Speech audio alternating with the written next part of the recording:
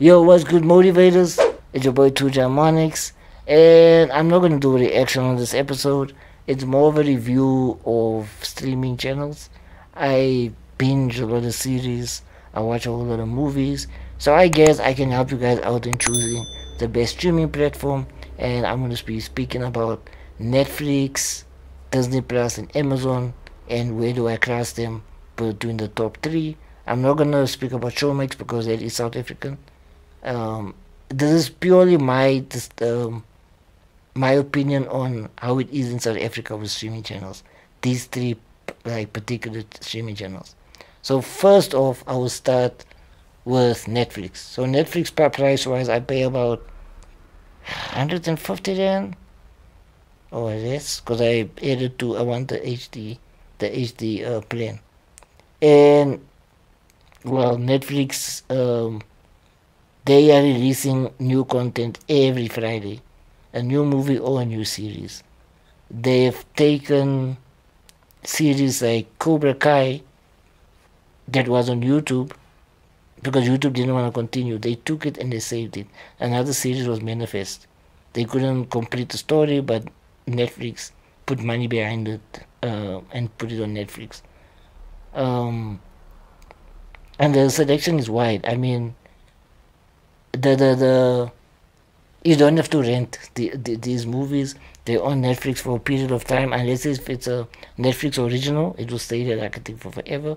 But if it's a movie that's not from Netflix, it will stay in for a certain time, even a series. Like I couldn't even finish uh, Modern Family before it was uh, I was on season seven. Uh, by the time they removed it from Netflix, I think it moved to Disney Plus now. Um, my my downside is that that not everything can be there forever. And the other downside is that for example i'm catching up i caught up with the good doctor and i caught up with uh, better call saul which is not netflix shows. Now the issue with this is that i don't know in america but in south africa they don't have all like good doctors five seasons um, Better Call Saul. I think it's also it's six seasons, but I'm waiting for two more seasons for Good Doctor. Luckily, first of October season four is coming out, and then Better Call Saul. I don't know when season six will come. The like the close of the season on the series on season six. Those are my downsides. I, I see um, Power's on, and I haven't finished Power, so I need to finish it before they decide to take it off. Uh, another downside is I feel like I don't really enjoy Netflix anime. I always watch anime on Crunchyroll, but I'm not gonna speak about Crunchyroll. Um, uh, which anime did I think is a good one? Oh, um, Ajin Demigod is really a good anime um, on on Netflix. Uh, and they're a bit behind when it comes to anime. Like My Hero Academia on Crunchyroll it's already I think it's going for season five or six. I got my numbers confused. But they still I think on season two or three on Netflix.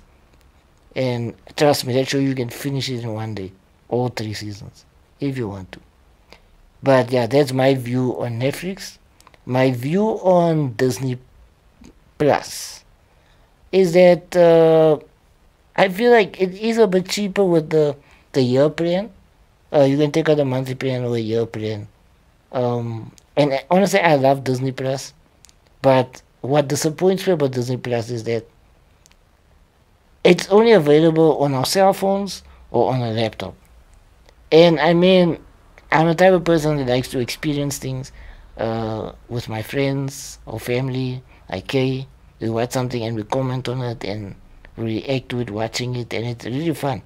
But the problem is, we can't even put Disney Plus on Xbox unless we find a, a way around like a VPN or something because it's not available in South Africa like 100%. I think they need to relaunch the app to work on all devices and we're waiting patiently for that. But once it comes, then yeah, we'll watch. I mean, I'll probably on Disney Plus more than Netflix. I mean, I love what Disney's putting out from Lucasfilm. Lucasfilm, Fox, um, they acquired Fox.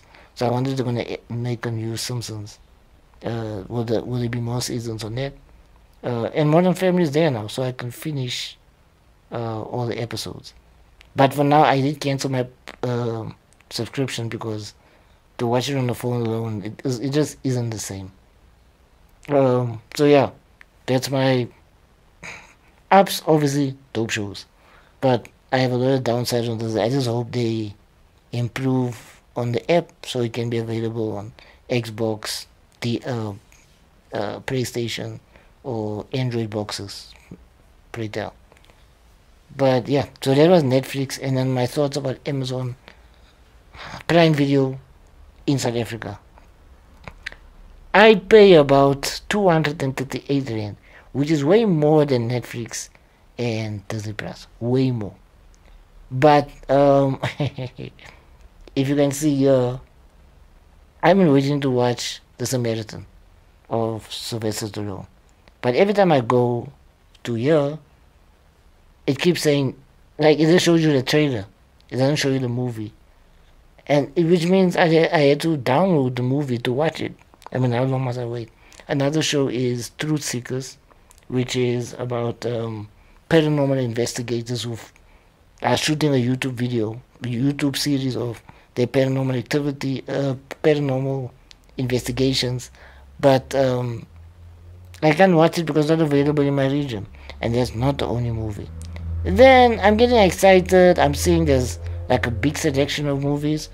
But I must either subscribe further, like on Paramount Plus or or Starz, or I just have to rent the series or movies. Now, mind you, on top of the subscription, there is too much. Like, too much money to put out. I won't put it off at the moment because I'm still watching all, of the series and Amazon really does put out good content.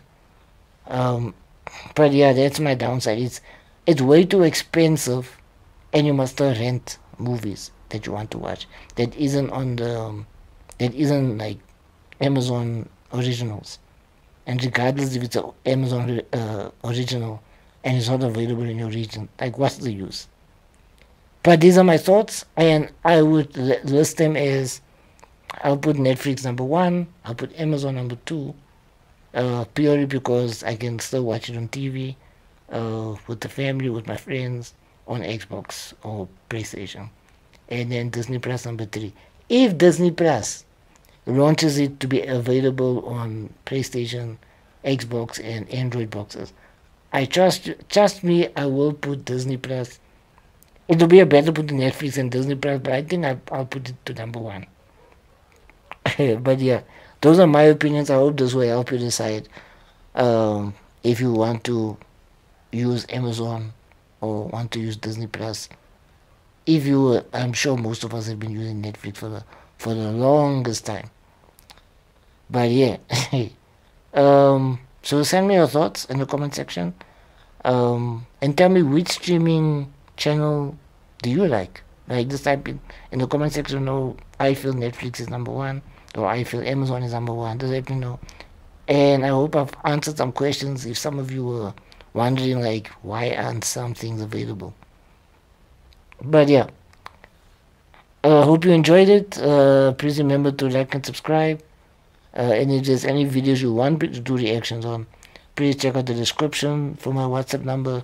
Send me three fire emojis and I'll add you to the WhatsApp group and you can suggest any short film, music video, or trailer you would like me to do reaction on. So yeah, man, I'm signing out. Peace out.